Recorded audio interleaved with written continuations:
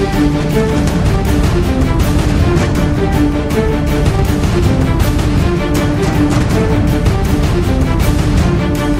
back. नमस्कार दोस्तों, स्वागत है आपका फिर से जेड एक्स न्यूज़ में। दोस्तों, जैसा कि आप जानते ही हो कि पड़ोसी देश पाकिस्तान के अंदर बहुत बड़ा हमला पिछले 48 घंटों से लगातार चल रहा है।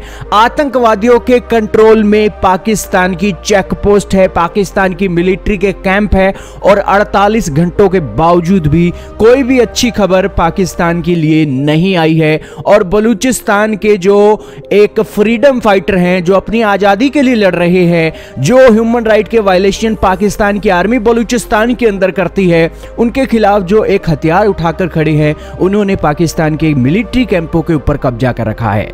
अब दोस्तों, एक तरफ़ तो मिलिट्री के ऊपर पाकिस्तान के अंदर फ्रीडम फाइटरों ने परेशान कर रखा है, और दूसरी तरफ़ इंडियन आर्मी ने अपना बड़ा दिल दिखाते हुए पाकिस्तान की आर्मी को फिर से याद करवाया है कि हम इस मौके की सिचुएशन में पाकिस्तान को बहुत ही बुरे तरीके से पटकनी दे सकते हैं, लेकिन फिर भी हम आज पोजीशन ऑफ़ स्ट्रेंथ रखते हुए भी आज सीज फायर के ऊपर डटे हुए हैं। दरअसल आर्मी चीफ ने यह स्टेटमेंट क्यों दी?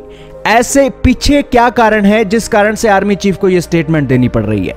दोस्तों, पाकिस्तान का इतिहास रहा है। आप इतिहास उठाकर देख लीजिए, हमें आपको बताने की ज़रूरत नहीं है।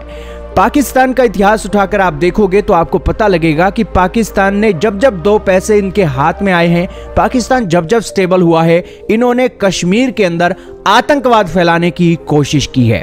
पाकिस्तान कश्मीर के आतंकवादियों को फ्रीडम फाइटर मानता है और आज उसी तरीके के फ्रीडम फाइटर बलूचिस्तान के अंदर पाकिस्तान के सेना में नाक में दम कर रखा है इन्होंने।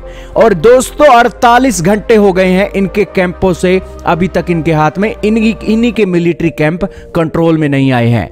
सिचुएशन ये है सोर्सेज से खबरें ये आ रही हैं कि आर्मी के कैंप के अंदर जितना असला बारूद पड़ा था, वो असला बारूद उन फ्रीडम फाइटरों के हाथ में लग गया है। और उस कारण से उनकी जो पोजीशन ऑफ़ स्ट्रेंथ है, आज पाकिस्तान की आर्मी पे हावी हो रही है।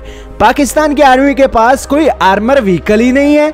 आखिरकार वो किस तरीके से अपने आप को सिक्योर करेंगे? यही कारण है कि जिन आर्मी के जवानों की लाशों को उठाने जाते हैं, उसके बाद वो जो दूसरी तरफ़ फिदाइन और इसी फ्रीडम फाइटर बैठे हैं, वो गोलियाँ मारते हैं और उन्हें अपनी लाशें उठाने का समय नहीं मिल रहा है। और तो ड्रोन तक गिरा दिए गए हैं और हेलीकॉप्टर तक गिराने की खबरें हैं। और इस सभी के बाद पाकिस्तान के ऊपर भारत के आर्मी चीफ ने बड़ा दिल दिखाया है कि भारत ने पोजीशन ऑफ़ स्ट्रेंथ पर बात की है। यही कारण है कि इतना लंबा समय हो गया है कि सीज फायर अभी भी चल रहा है। हालाँकि आर्मी चीफ ने यह स्टेटमेंट दी है, ऐसा भी नहीं है। राजनाथ सिंह ने भी यह स्टेटमेंट 30 अगस्त 2021 को दी थी। उन्होंने कहा था कि सीज फायर आज सक्सेसफुल इसलिए है क्योंकि भारत की स्ट्रेंथ आज दिखाई दे रही है। दोस्तों, आज ये सारी बातें पाकिस्तान के अंदर गई। तो पाकिस्तान के डीजीआईएसपीआर जागे। उन्होंने कहा कि इंडिया के चीफ ऑफ़ आर्मी स्टाफ की जो स्टेटमेंट आई है कि पावर ऑफ़ स्ट्रेंथ के कारण आज सीज फायर चल रहा है, हम उन्हें बता दें कि ये एक मिसलीडिंग है। उन्होंने कहा कि आज पाकिस्तान का जो कंसर्न है कि जो सेफ्टी है पीपल की, कश्मीर के लोगों के लिए, वो एक होनी चाहिए। उसी कारण से ये जो सीज फायर है, लंबा टिक रहा है। लेकिन दोस्तों इस क्लेम को बस्ट करने के लिए भारतीय पत्रकार भी सामने आ गए। उन्होंने कहा कि आप हमें यह बताइए कि कश्मीर के अंदर जो आतंकवाद की गतिविधियाँ आप करते हैं, जो असला बारूद भेजते हैं, जो ड्रग्स भेजते हैं, और लश्कर ए तैयबा, जैश मोहम्मद, हिजबुल मुजाहिदीन, अल बदर, और कौन कौन से आतंकवादी ग्रुप जो आप भेजते हैं, उस समय पाकिस्तान को कश्मीर के लोगों की सेफ्टी का ख्याल क्यों नहीं आता है? यही कारण है कि आज डीजीआईएसपीआर को मुँह छुपाने का मौका नहीं मिल रहा है।